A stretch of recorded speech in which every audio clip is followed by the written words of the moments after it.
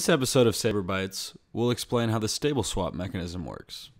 For a quick background, automated market makers, or AMMs, are smart contracts that allow users to exchange between pooled assets. For example, I can exchange token X for token Y using an AMM which stores that token pair. Stable swap is a mathematical mechanism designed to set the price. How many Y tokens should I get for one X token? Stable swap is specifically optimized for assets that trade at nearly the same value, for example, two different US stablecoins like USDC and USDT. StableSwap combines two famous AMM mechanisms, the first of which is a constant product AMM. This was made famous by Uniswap and SushiSwap on Ethereum. We can see the quantity of X tokens on the X axis and the quantity of Y tokens on the Y axis. When someone makes a trade, we use this function to determine how many of each token should be left in the pool afterward. X times Y is equal to some constant. As people make trades, we move along the curve and the price changes.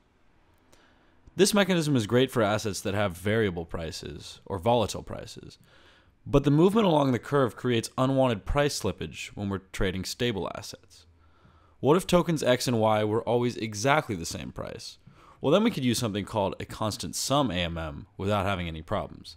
In a constant sum AMM, I can always get one Y token for my X token which is described by the rule x plus y is equal to some constant. However, this doesn't work for real life stablecoins very well because these coins usually fluctuate naturally around their pegs and occasionally even lose pegs. Thus, with constant sum, arbitrageurs would quickly drain the pool of the less valuable token. In StableSwap, we combine the constant product AMM with the constant sum mechanism by adding the two mechanisms. To encode our knowledge, assets will always trade near the same price, while also giving availability and liquidity at any price. We dynamically weight how much each mechanism contributes using a parameter I'll call gamma. When gamma is very large, our mechanism approximates a constant sum mechanism, and as gamma gets very small and goes to zero, it becomes the constant product. Thus, in the stable swap algorithm, we'll design gamma to be dynamically decreasing as the pool becomes out of balance, so that there's always liquidity.